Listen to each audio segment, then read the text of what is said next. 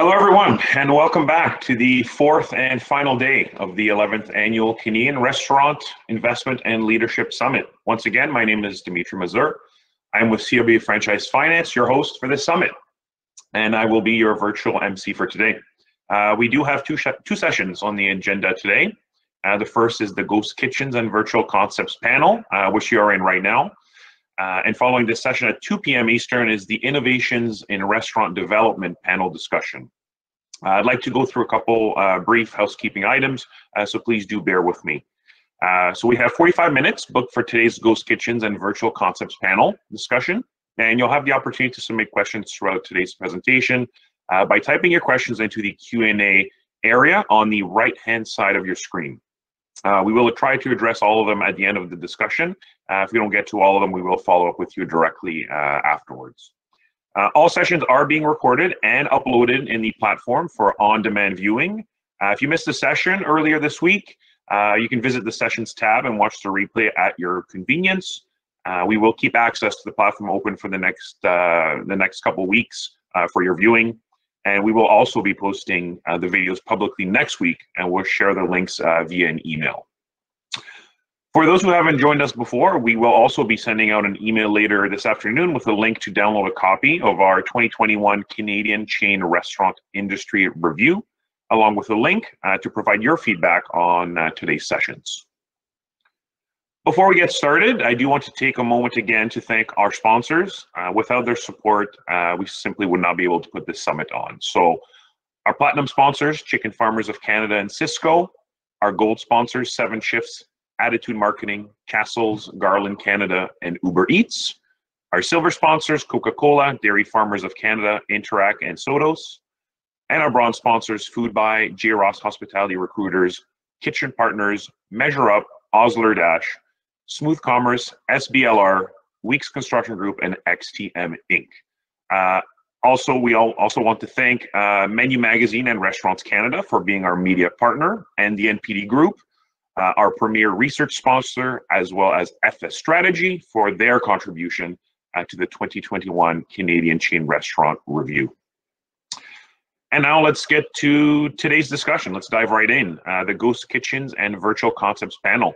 Um, as the industry continues to uh, evolve and innovate, uh, one thing's for sure is the ghost kitchen and virtual restaurant model is here to stay. Uh, so joining us today is a group of experienced restaurant operators and industry experts uh, who will be discussing how to build success uh, and sustainable growth, uh, growth through this segment, not only now, but in the future as well. So a big thank you to this session sponsor, Uber Eats. And I'm now going to pass it over to today's moderator, Jim Dover from FS Strategy, to introduce today's panelists and lead the discussion. Over to you, Jeff, and welcome everybody. Thanks, Dimitri. It is uh, my pleasure to moderate today's panel. Today, we're going to take an in-depth look at what ghost kitchens are and how they work. Uh, the term ghost kitchen uh, can mean a variety of things to a variety of different types of businesses. We will discuss the business models, how they work, how technology is incorporated, and what the, the future holds. So with me today, we have uh, Lola Kassim.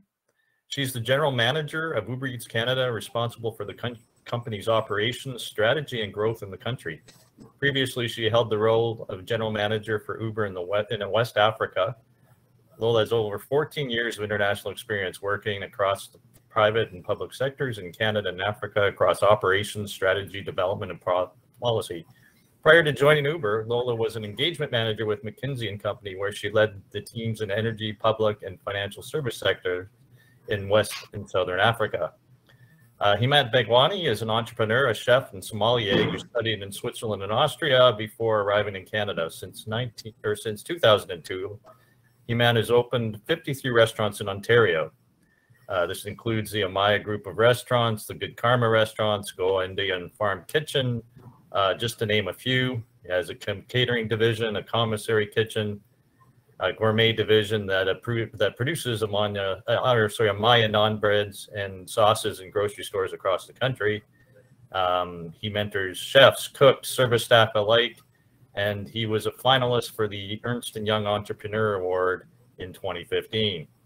Um, and uh, last but not least, George Kottas is uh, founder of Ghost Kitchen Brands, um, so an appropriate person to have on this panel today.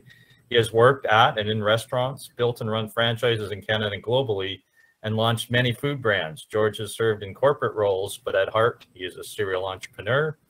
Uh, Ghost Kitchen Brands is a kitchen optimized for multiple brands. He's going to talk about that today in the panel. Uh, the kitchen is elevated by technology for both online delivery and takeout. So thank you for uh, joining us today, and we look forward to um, you sharing your knowledge on, uh, on, in this category. And I will start with you, Lola. Um, we've all heard a lot about ghost kitchens. However, this term means different things to different people. Will you please describe um, the different types of ghost kitchens?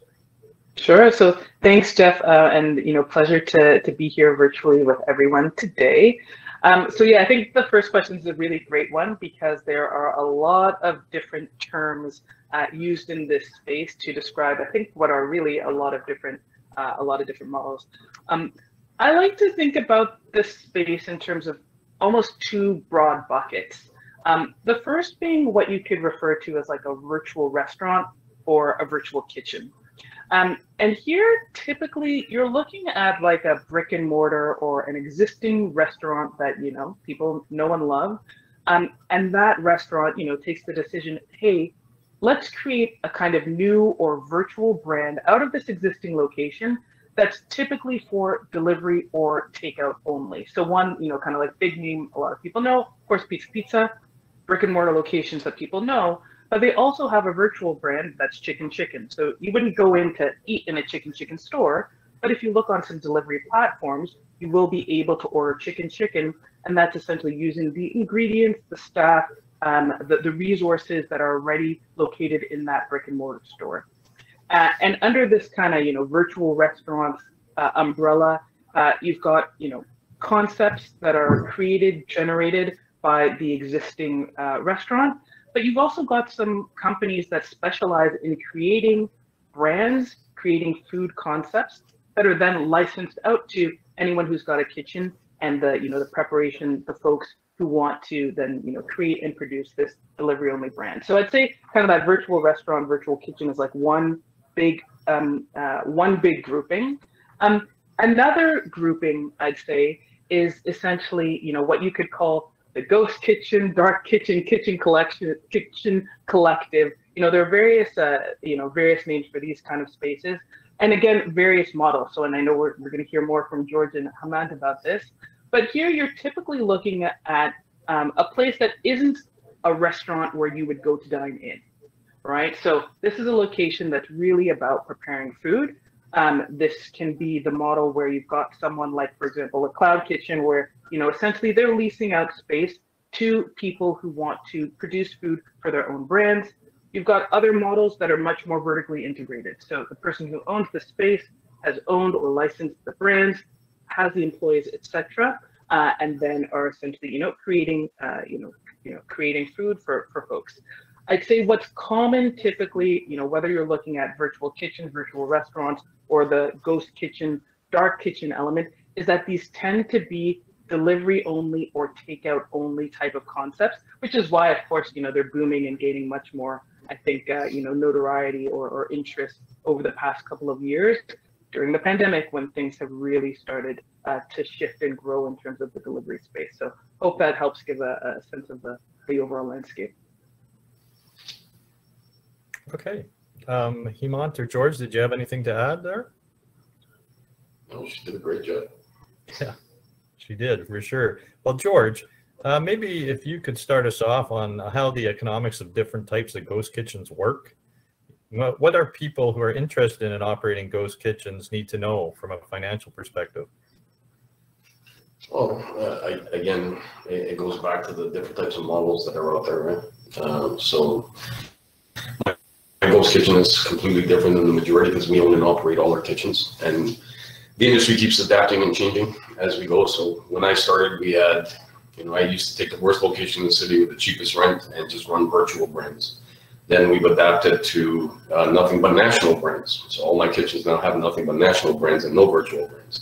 And now we're pivoting again uh, to touch on what Lola said, and we're actually doing dining because we've essentially created a food court. So we have 20 brands, national brands in one location so people are flocking to the stores now because we have that many options as a virtual food court and an actual food court. Um, so for us, it's a little bit different because we and operate all the brands. All the revenues come in to, one specific company. Uh, virtual brands, you got to be careful, right? Um, it, it, it's it's a trend right now. Uh, there's a lot of people out there doing them. Uh, a lot of new brands popping up. A lot of celebrities getting involved, which is great. Uh, it helps get the brands off the ground. Uh, just you know, operations. That's my only concern. Uh, operations, operations, operations. When you when you have three, four, five, six brands, it starts to affect your brick and mortar. Starts to affect your your, your overall execution of all the product and the quality. And, but it's a great resource. It's a you know during COVID, I'm, I'm sure it saved a lot of restaurants, a lot of people in the hospitality industry by adding a few virtual brands while all the dining rooms closed. Okay, thanks. Um, Hemant, did you have anything to add to that? No. How, how about um, maybe if you could uh, let us know how uh, ghost kitchens could be streamlined, uh, how they could be operated more efficiently than they are today? Oh, I think you might be on mute, Hemant. I, I love this question.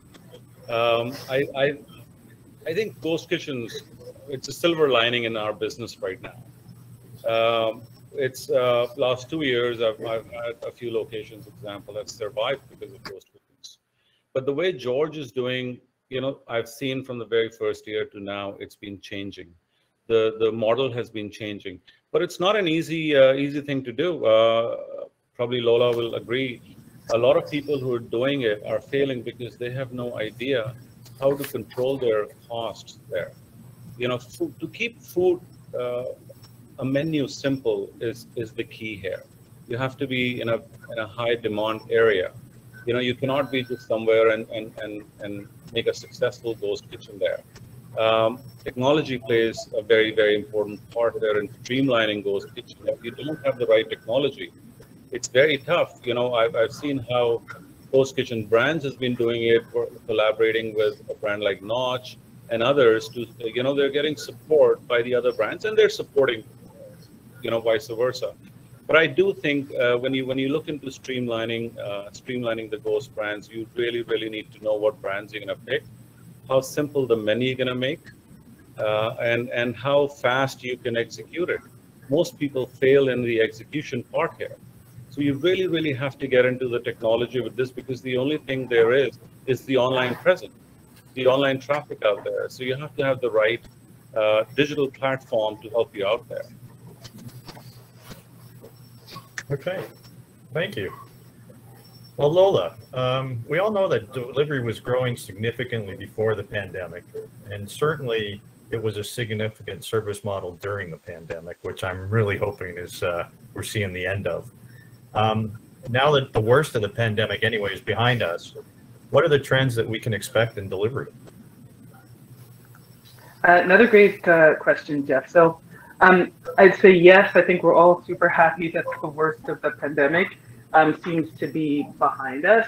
Um, but I think, you know, from my perspective, one thing's pretty clear, which is that, you know, food delivery and delivery of a lot of things beyond just restaurant food is here to stay. Um, I think folks' habits and kind of, you know, you know, general consumer trends have just shifted, right?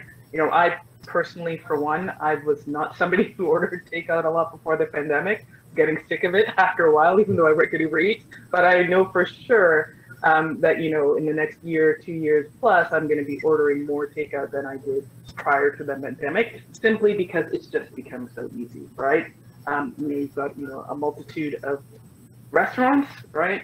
Um, multitude of apps depending on what you're looking for. And it's just become so easy and convenient to get exactly what you want in a quick amount of time at the quality you want, right? So I think that's here to stay. Um, but I do think there are some shifts that have really been, you know, uh, cemented a, a, bit more during the pandemic. And I think one of them is that people expect more, right? So people are expecting more than just, you know, maybe, you know, the typical things we maybe ordered for delivery, you know, 10, 15 years ago, pizza, Chinese food, Italian, etc. People want to be able to get everything, you know, whether it's you know, a salad or Ethiopian food. People are expecting that that whole plethora of what they've got in their diverse cities in Canada is going to be available to them. So I think that's one.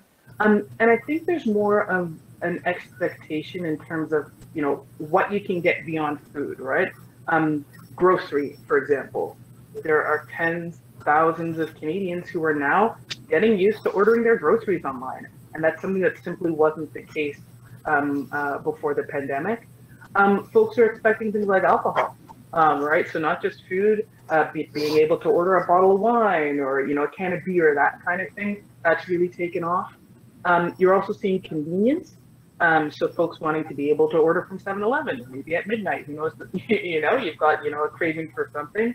Um, and it's another interesting trend when you look at again beyond food is things like prescriptions, right? We at Uber Eats recently launched a partnership with Rexall. You can get your prescription filled and order some toilet paper and some candy bars, et cetera, et cetera. So I think there's just this expectation um, uh, of more.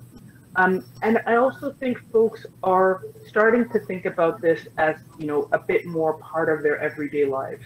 Um, and so are willing to invest in things like, for example, like memberships. So like we've got something called Uber Pass. So you know you pay a membership fee, your delivery is free, right? Kind of like an Amazon Prime type thing.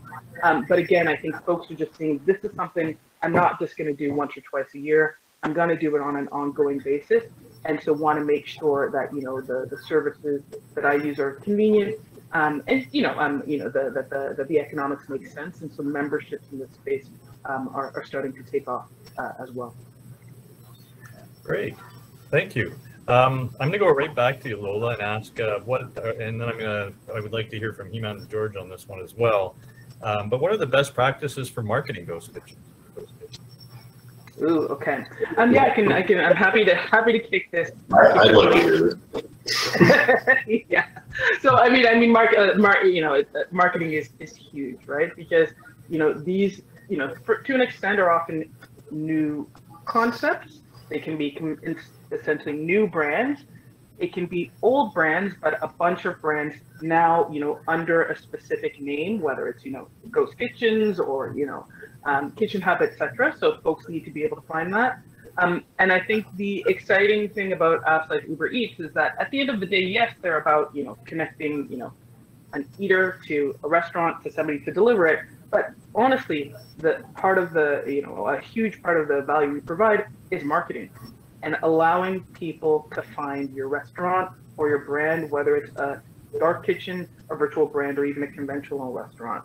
Um, you know, I think um, you know it's something like 65% of people who you know come on these apps, they actually don't know what they want to eat when they open up the app, right? So you want to put yourself in a space where you know if you're an owner or an operator, eaters are choosing you. Um, so what are the kind of things you can do? I mean, there's there's all sorts of um, all sorts of things, but a couple um, which we uh, tend to work with our restaurant partners on quite a bit um, are what we call in-app promotions. So, for example, hey, are you going to offer a BOGO, a buy one get one, right? Um, are you going to offer a free item? So you know, you order this, you get a free item, or or discounts. And restaurants can do these at any time but we also try and create a little buzz and a little bit of energy around this. So, you know, once a month, you know, we'll say, hey, you know, thousands of restaurants in Toronto on the platform. This week is the BOGO week, right? And if you subscribe to that campaign, that's a, a nice and a fun way to get uh, greater visibility. Um, a few other things I've mentioned are um, sponsored listings. And sponsored listings are essentially an ad, right? So, you know, paying to, you know, get better placement in a feed, in our feed, um, so that you're top of mind for eaters. Um, and we've seen that the return on investment in this kind of um, uh, advertisement has actually been really, really high um, for our restaurant partners, which is really exciting. Um, and then I'd say beyond that, things like social media, huge. Um, and you know, we've taken a step a couple months ago of actually making it possible for merchants to like actually just integrate their Instagram story into the Uber app, into the Uber Eats app, right? So you know, of course, we know these days social media is huge, but for folks to be able to see that content that you're creating, that you're generating, um, and trying to share with the broader public, to be able to see that in the app, we found has been uh, something uh, that's been quite helpful to restaurant partners as well. But yeah, marketing is huge, uh, and at the end of the day, you know, being top of mind and being able to share your story and what you're doing with the consumer is, is, is a big part of being able to succeed in this virtual restaurant and ghost kitchen space. Thank you. That was really interesting. Uh, Hemant or George, do you have anything to add on marketing of ghost kitchens?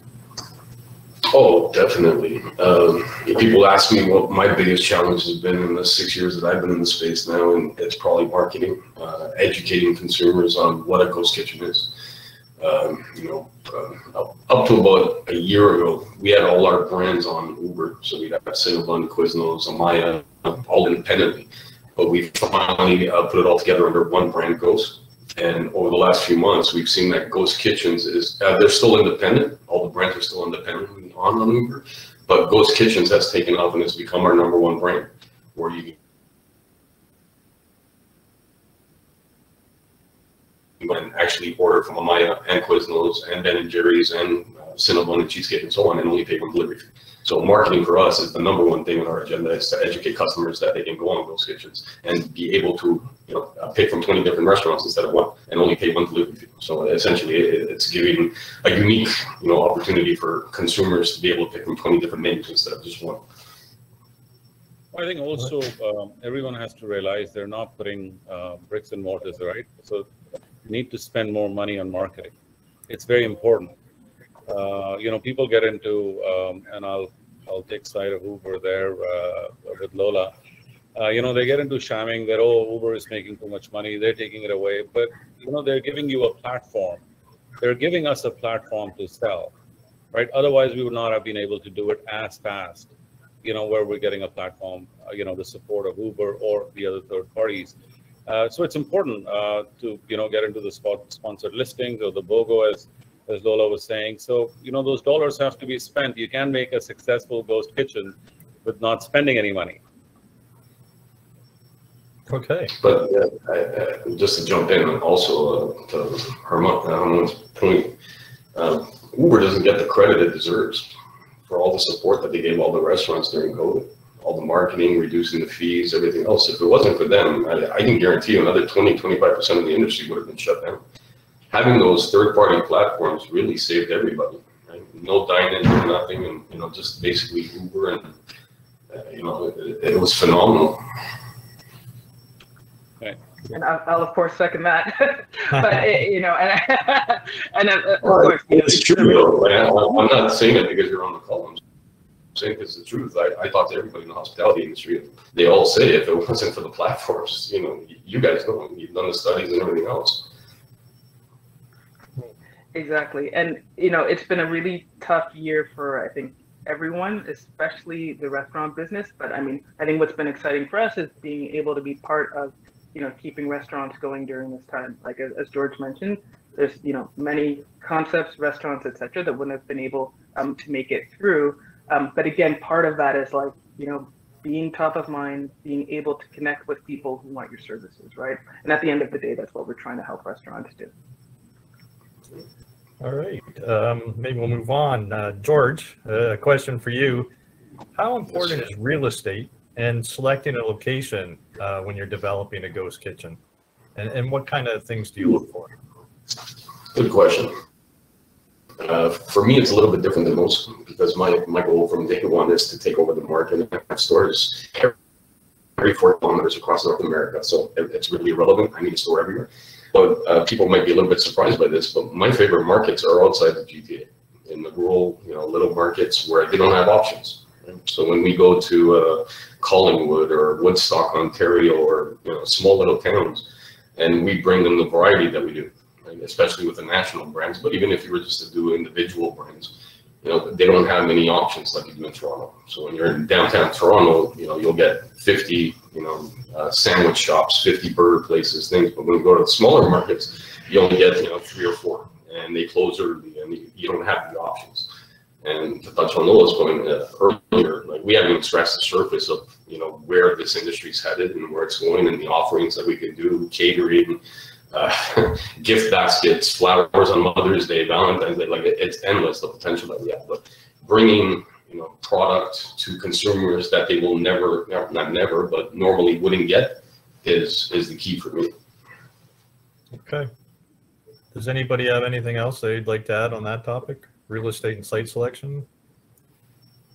All right. Well, I've got a, another question for for you, Hemant. Um, you know, uh, I, I, guess as this delivery uh, trend has taken on, we've got a lot of restaurants that have filled it in, right, and and and worked out how to how to do uh, accommodate delivery into existing restaurants. But when you're designing a restaurant, what are you doing in the uh, new restaurant? What are you doing in the front of house areas, the back of house areas, to accommodate delivery? Um, most restaurateurs like me, we think we can just use one fryer and do five concepts. I don't think so that works. You know, you have to go in for a lot more kitchen equipment. You it needs to be a, a bigger space, an open area. You know how Ghost Kitchen Brands is doing uh, now. You have to have a much bigger space now. You know, the investment is actually in the kitchen because it's the engine of the Ghost Kitchen there.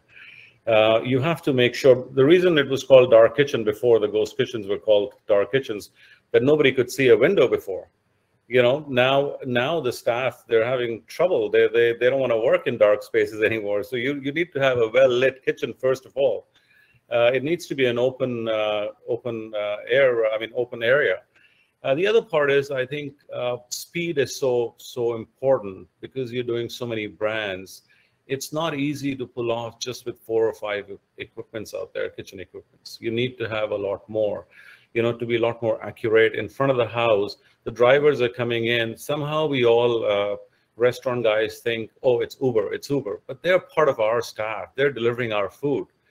We need to understand that part that you know the driver who's coming up picking up our our food is is a part of our team we need to get him out very quickly as soon as he walks in because we're wasting his time so it has the speed the accuracy the efficiency you know the kitchen has to be modeled in such a way the most important part for me is if you're doing uh, if you're doing let's say 10 different concepts uh, then you have to match them where you're going to create the stations properly and the sections in the kitchen uh, to make it much faster once you get that right, I think I think ghost kitchen concept for anyone is a winner. Otherwise, people will end up losing money. They waste a lot of food if the kitchen is not not done right. It's from from receiving the order to getting it out. You know, it, it has to be really, really efficient out there to make it successful.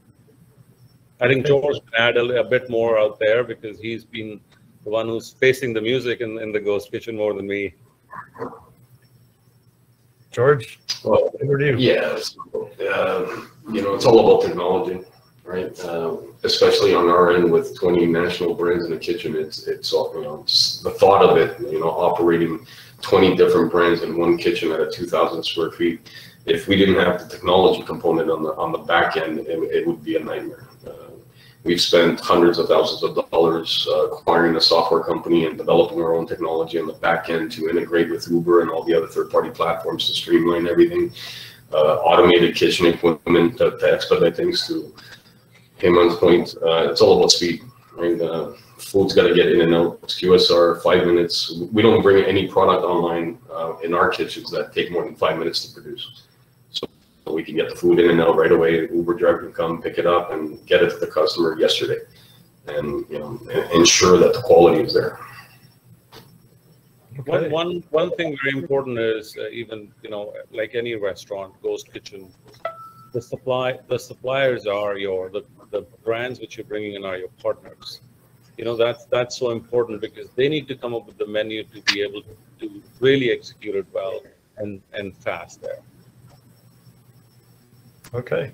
Um, you know, uh, I think uh, we had a great segue here because uh, George was mentioning technology. So maybe Lola, is there anything on the horizon with respect to new technology that will help operators efficiently operate ghost kitchens or delivery in yeah. general?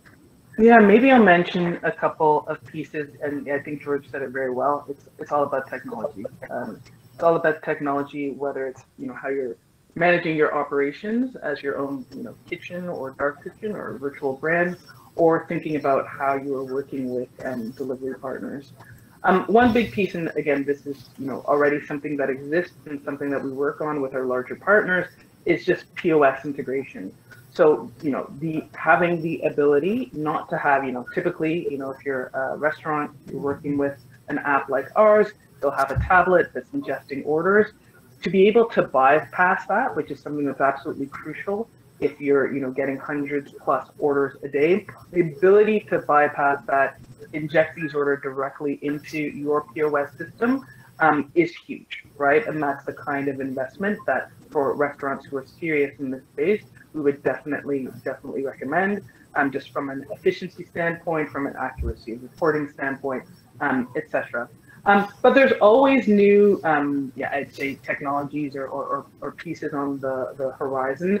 I'd say another um, interesting, um, uh, you know, aspect of technology that we're working with some of our partners on uh, is something that we call, you know, Uber Direct, which is like a white label delivery partner uh, or delivery product you know, there are some brands who may not just want to be on Uber Eats or on another third party delivery platform, but have their own app, have their own very strong brand, and are just looking for that last leg to help that get delivered. So that's a service that, you know, we provide as well. Um, that again is something, you know, quite exciting for folks who have a strong brand, have their own app or have their own website, and are just looking for a, a, company to provide that last leg of delivery. Um, so again, depending on, you know, there's so many models in this space.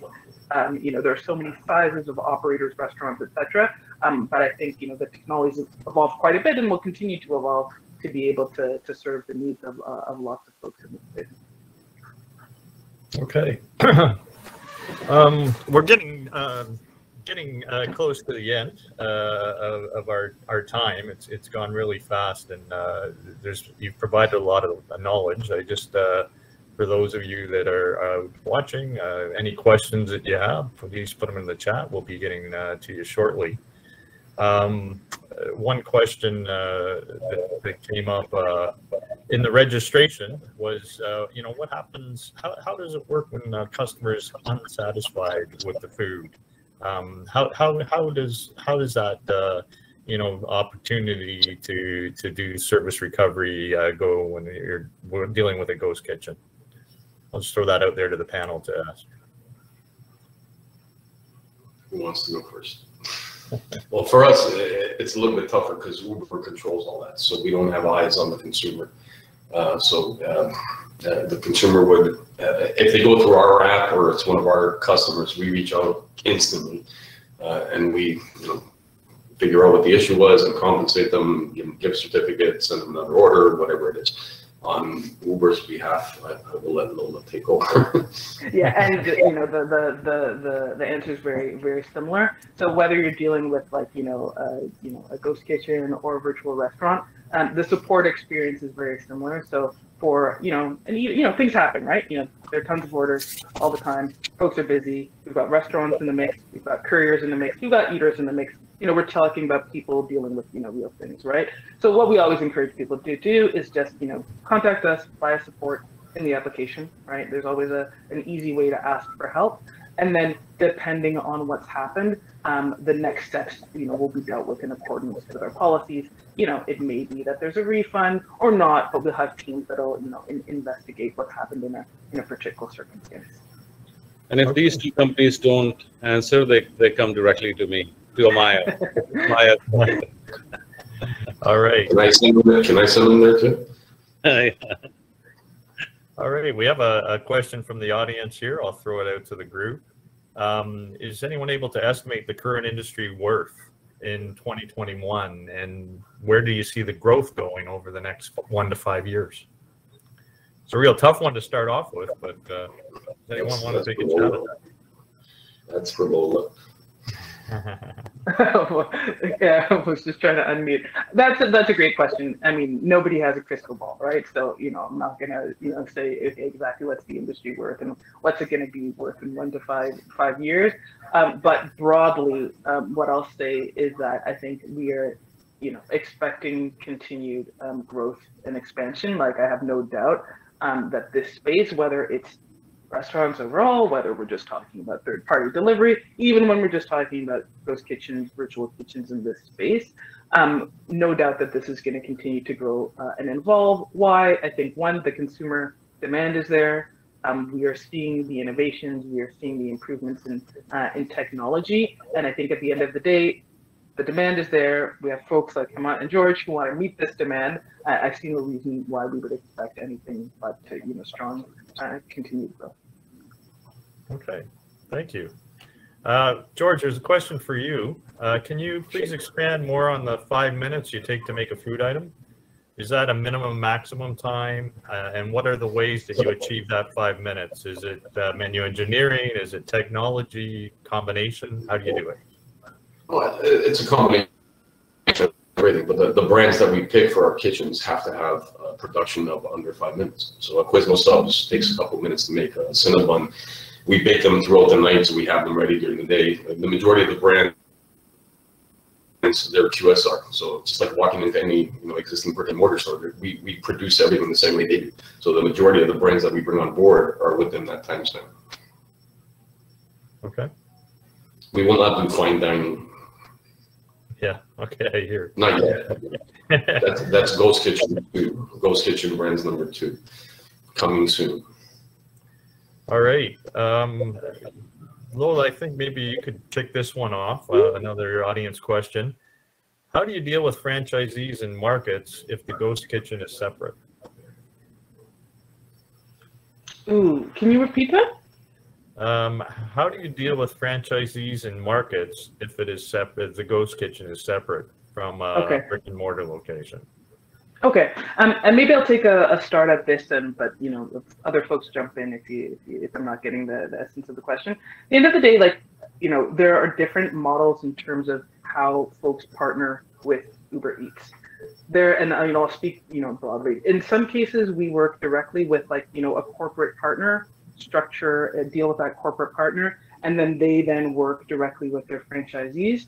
We have some brands and in some regions where we actually partner directly with franchisees. So it really depends on what's right for that corporate partner, for that franchise partner, and we are willing to work with anyone, uh, to, to be honest. So it really depends on, you know, um, uh, how the how the business is structured uh, and what they are looking to do in a particular market. We're relatively flexible on that.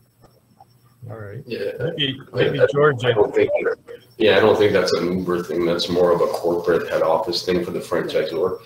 Where uh, myself, especially, we deal with nothing but franchises. So we have certain rights or certain restrictions if we're too close to a certain location, an existing brick and mortar, where they don't tell me not to do it, but, you know, we find a, a way to make them happy, to compensate them. Okay, yeah, I was gonna ask, so when you're going into a, you know, one of the markets you mentioned was Collingwood. So, uh, of the twenty brands, how many are in the market there and, um, is that why you have those brands or is it, it would, if, if you were putting a kitchen in a, a market where some of the brands exist, um, do you maybe leave one of your twenty out or a couple of your twenty out or how, do- how does, Well, how do you, how do you play? Yeah, hundred percent. So we actually have 60, 70 brands in our portfolio.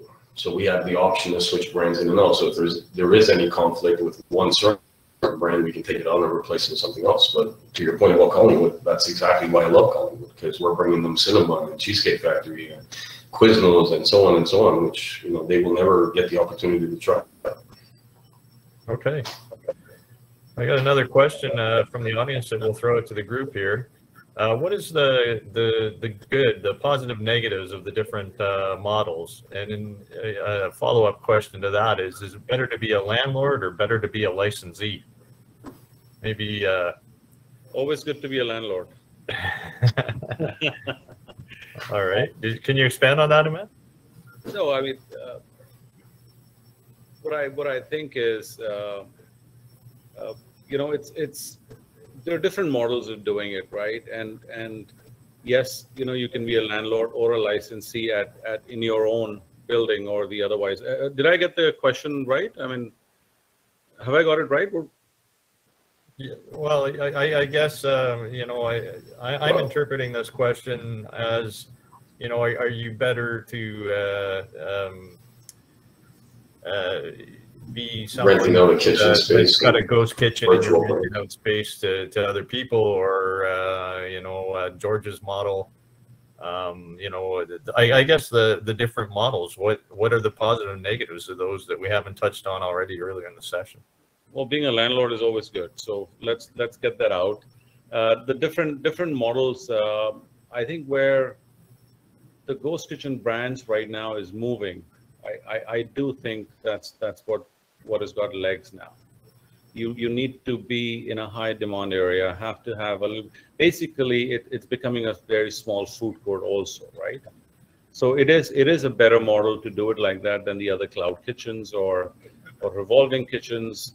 Uh, I think this model works better. Okay. And Anyone else- If I can else jump in want on that. Yeah, for sure. Yeah, so um, I'm not a big believer in the, in the renting of the kitchens. I, I really believe that if you have a brick and mortar store or, you know, physical location where you're actually your dining and everything else, and you add to that with a virtual brand, that makes sense. But virtual brands only in a rental kitchen are very tough because you need the volume. And when you're in those locations, you got, you know, some of these kitchens have 20, 30, 40 kitchens that they're renting out and everyone's running three, four virtual brands, the amount of competition, the amount of revenue that you need to make. And with the delivery fee only, you know, uh, revenue sources from delivery plus the fees that you pay the platforms and everything else, it's very hard to, to make it profitable. If you don't have that base of walk-in component, it's going to be very, very hard. Okay. Anyone else have uh, anything to add on uh, positive and negative of the different models? One, one of the things, George, that you said uh, segues nicely into this next question. Um, virtual brands uh, in the States are actively growing. Um, what's the future for virtual brands in Canada? What do we see there? And I'll just throw that out to the floor, see who wants to, to take that one. Uh, we're launching our first big virtual brand in a couple of weeks, uh, Mr. Beast Burger. We just brought it up in the United States. And I believe it's got legs. Um, I just don't know if it's a fad or if it's going to be there long term. And can't tell you that for another probably six months. Uh, there's a lot of brands that were created over the last year because of COVID, and a lot of people jumped into this space. Uh, but again, for me, it, it, it comes down to you can make the brand work. It's just execution. Right? With us, it, it's a lot easier because I manage and own and control all the locations across Canada, so we can ensure quality. Right? But when you're you're licensing out virtual brands to independents, it's going to be very hard for them to stay on top of the quality and the, the customer experience. But some of them will will have longevity. Okay. Uh, Lola or Hemant, uh, anything to jump in on the future of virtual brands in Canada? Um, I think, you know, building on what George said, I think we'll continue to see more, which is exciting. Um, but I think we'll probably see a bit more just like testing and learning. Again, if, if there's less focus on actually building a restaurant that is going to be the home for this concept or this brand, there, I, I think there's a little bit more freedom for, for example, let's launch this virtual brand, see if we get the traction, see if this makes sense. If it doesn't, you know, there's a bit less risk involved in pivoting. So I also do see that we're, you know, we're going to see things come. Folks will test, try it. Okay, this one didn't work. Let's try another one. And so I think we're going to see a bit more. Uh, I don't know. I'd say like multitude or kind of you know creativity and experimentation in the space over over the coming years. I think most chefs are jumping into it in Toronto, who uh, owned a higher end fine dining upmarket restaurants. Uh, they all are jumping into these, so we will see uh, a huge, huge jump in, in this. You know, I'm uh, in states, uh, uh, you know, they're they're a little bit ahead of us in what we're getting into now. we will see a big change in next six months to a year. We will see, you know, how once things start coming back. A lot of chefs I've spoken to in the city are now uh, really looking into into doing these things. Okay. Well, that you know, with that, and, and I can't believe how quickly our time's gone. I, I would just uh, before I uh, wrap things up, I'd like to thank the the three of you for uh, sharing some great information today. It's certainly um, an exciting uh, way. I'm sure if we talked ten years ago uh, about this topic, uh, people would have looked at us like we were crazy, and now it's one of the the you know major growth segments in in Canada. So thanks so much for uh, sharing your knowledge. And with that, I'm going to pass it back to Dimitri to wrap things up. Thanks Thank again, you. everyone. Thank you. Okay, thank you. Thanks, Jeff, uh, and thank you to all panelists today. Appreciate the uh, the commentary and feedback. Uh, definitely interesting stuff. Uh, so I'll make it quick here before we close out uh, this session. Just a quick reminder uh, to everyone that the innovations and restaurant development session is taking place at 2 p.m. So in about 15 minutes Eastern. So I'll see you over in that session shortly. Uh, and uh, a final reminder to check out the sponsors and partner profiles in the exhibit hall, as well as connect with some other fellow attendees in the networking area. Uh, so again, thank you, Jeff, George, Lola, Hemant for joining us today and sharing your viewpoints. Uh, thank you to all our sponsors, and thank you, our audience, for joining us. Take care.